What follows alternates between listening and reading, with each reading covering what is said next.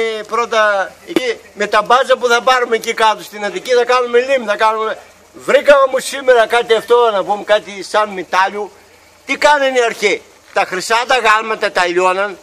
Λοιπόν, τα λιώναν τα γάλματα, να μείνουμε σε αυτά τα επίπεδα, τα λιώναν τα γάλματα και μέναν τα μπακουρέλια. Το, τα μπακουρέλια πριν ήταν χρυσά. να- Αυτό που βρήκα εγώ είναι ασημένιο βέβαια, αλλά μπορεί να ήταν και χρυσό. Σαν μητάλιο είναι.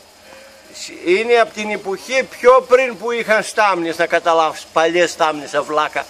Να μην, να μην σκάψεις η α- α- άσκουπα για αρχαία. Ναι, και το βλήμα αυτό που βρήκα, το βλήμα αυτό, το ψάξα τώρα, ήταν ε, και αυτό πριν από τη στάμνης ήταν. Γιατί τι, ήρθ- τι ήθελαν αυτοί εδώ και, και το φυκούσαν. Εδώ, τι ήθελαν οι αρχαίοι αυτοί με αυτό το αρχαίο όπλο και το φυκούσαν. Με αυτό το αρχαίο όπλο, επειδή ήταν δυνατό, πρέπει να χτυπούσαν αρκούδες, γιατί η θάλασσα τότε ήταν σε αυτό το ύψος ας πούμε. Υπήρχαν μεγάλα ζώα τότε, παράδειγμα, γι' αυτό είχαν μικρό όπλο. Ναι, αυτό είναι το ερώτημα. Να φέρουμε από την Ευρώπη νέα στοιχεία. Άντε, γεια.